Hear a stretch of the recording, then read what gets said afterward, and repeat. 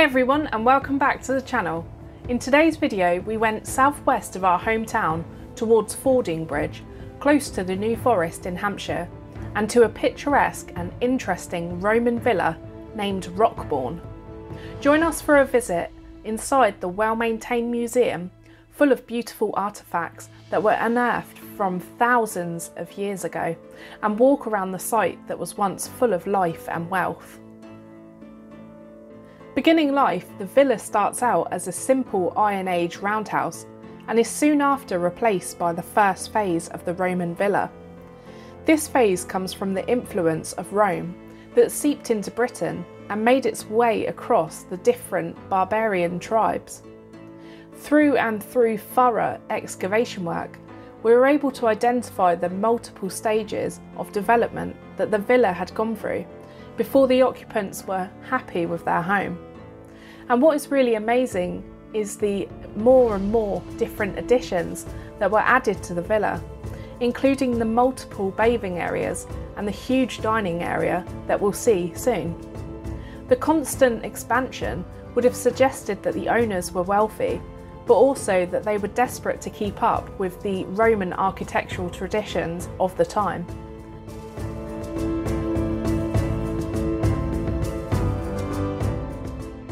If the elaborately patterned mosaics, enormous bath suites, and architectural beauty were not enough to imply a wealthy household, then the immense coin hoard found within the villa surely does. Over 7,000 coins dating between 295 to 305 AD, were found in a two-handled New Forest style pot that was buried just outside one of the villa's walls. There are two theories about why so much money was left on the ground. One is that there was a financial struggle and they were hiding the money away for safekeeping in case they had to flee. It is thought that the large hoard could have been left as a gift to a god or a goddess for good fortune, which is a possibility because it was stored in a decorated pot and packed with organic material.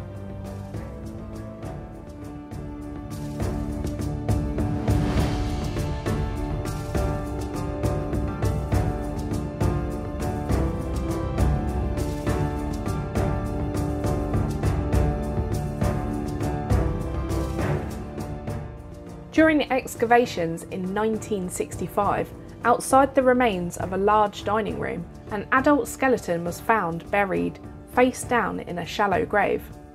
The reason why this man should have been buried at the villa is unknown, as is the date of his burial, although it is likely that he was buried after Roman occupation had ended. The full skeleton can be seen on display in the museum. Though much of the excavated remains have been filled in to prevent weakening, enough still remains to give us an idea of how the complex looked. The major structures have been outlined in gravel so that we're able to identify the outline of the buildings.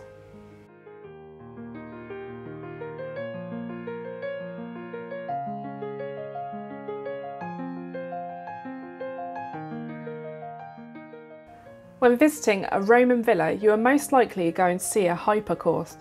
This is a type of heating that was developed by the Romans, who used it in warm and hot rooms of the baths, but also to warm private houses.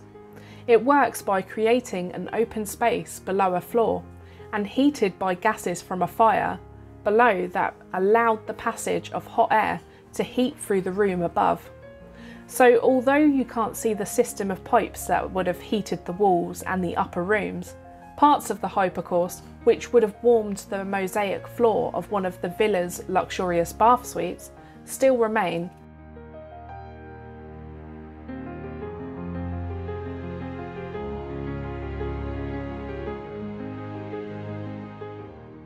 The villa was actually discovered in 1942 by a farmer named Morley Hewitt he discovered the remains of the mosaic floor by accident, with small pieces of oyster shells and Roman tiles that were found when he was trying to dig out a ferret in the fields. So upon this discovery, he purchased the lands and began conducting excavations to reveal the incredible villa as we see it today. Other mosaics can be found throughout the villa, which have been carefully maintained ever since its initial excavation in 1942. However, in the 5th century AD, at the decline of the villa's use, some of the mosaics were intentionally broken up, and it's not fully understood why. But a theory is that this could have been done to ruin the value of the flooring, so that it became worthless to any potential robbers. And mosaics found in the East Bath Suite show intricate geometric patterns. Although some of the mosaic is missing, there is enough of it to understand what the full picture would have looked like though. Mosaics such as these would have been laid by a skilled professional and would have no means been a cheap job.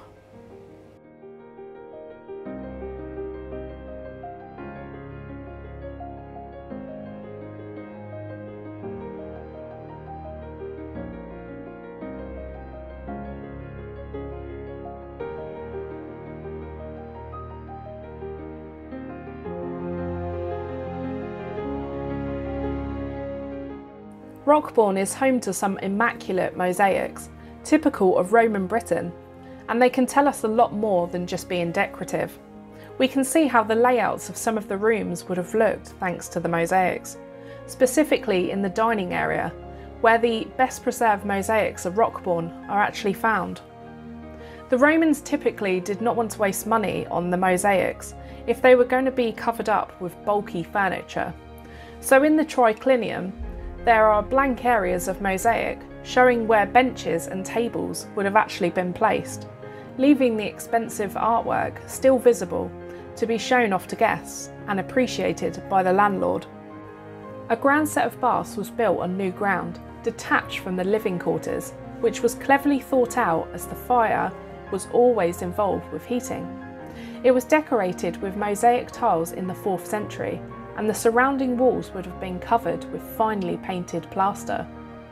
At some point in time, a cold plunge was built, destroying part of the mosaic.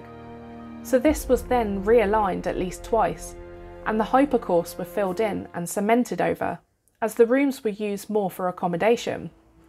It was in this area itself that Morley unearthed the first sightings of the villa, revealing the very impressive eight pointed star of the central pavement.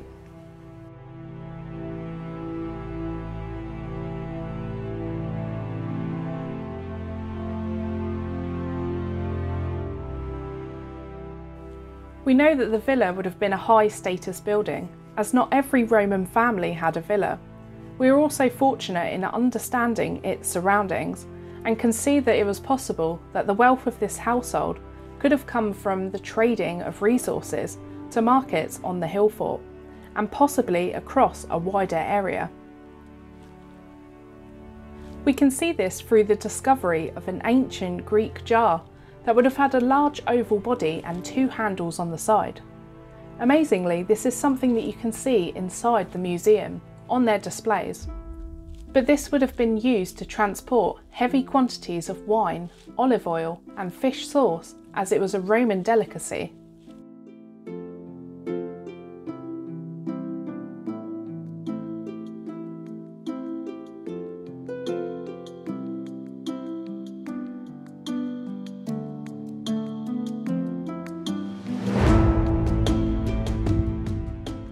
The history here is long and extensive, with many different phases of construction and over 400 years of use. The great thing about this site is that they have beautifully displayed the importance of this site throughout its time.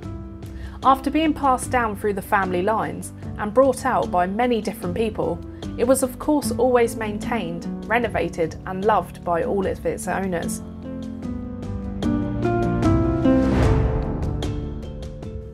A garden had been placed where they believed one of the gardens would have been here at the villa.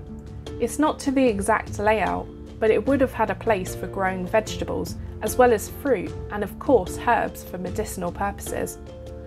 Like with many other Roman gardens, this would have had beautiful shrubs and flowers that were arranged in a way that could have been used for a shaded area. There are so many unanswered questions about this immense villa why was it suddenly abandoned and left to the elements?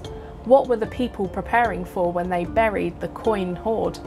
but these questions are even more reasons to go and find out and discover for yourselves. Another really great thing about visiting Rockbourne is that with the purchase of your ticket, which is under £5 for an adult, you can return as many times as you like throughout the year, with on site toilets and free hot drinks as well, as well as very knowledgeable and friendly staff that are happy to chat and answer any questions. It really is quite the hidden gem in Hampshire. One thing also to note is that they're now shut for the winter, but we would really love to encourage you to visit when you're in the Hampshire area next year. So if you've enjoyed watching our video this week, please be sure to hit that like button, click the notification bell and consider supporting us by subscribing to the channel. Thank you so much to our Patreons, we appreciate you supporting us, and a big thank you to everyone choosing to watch the video. We'll see you in the next one. Till next time.